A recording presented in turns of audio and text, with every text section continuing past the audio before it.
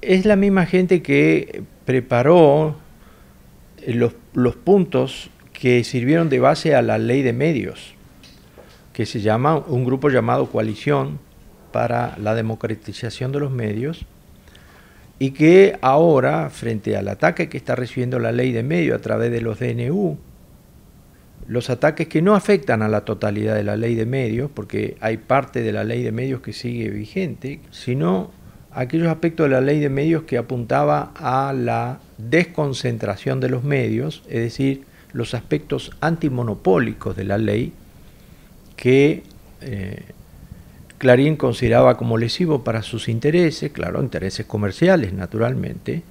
Nosotros sosteníamos que eso es, un, es ponerle una medida a los abusos de la concentración de medios, lo que permite democratizar la palabra, la creación de medios alternativos, de modo que los ciudadanos tengamos los canales de las grandes corporaciones, por supuesto, pero también tengamos discursos alternativos.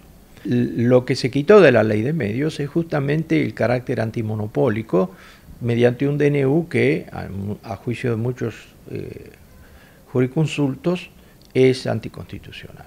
Lo que plantea la coalición es rediscutir y plantearle a los senadores y diputados unos nuevos 21 puntos para cuando se discutan los DNU y ese aspecto de la ley tengan eh, alternativas discursivas frente al discurso de Clarín. Lo que se pretende es decir, miren, esto se discutió en todo el país, porque es así, fuimos representantes de todas las provincias, esto se discutió en foros, se discutió en Buenos Aires en un congreso, que fue ahora el Congreso Nacional, que se hizo justamente en el subsuelo del Congreso, del, del anexo al Congreso Nacional.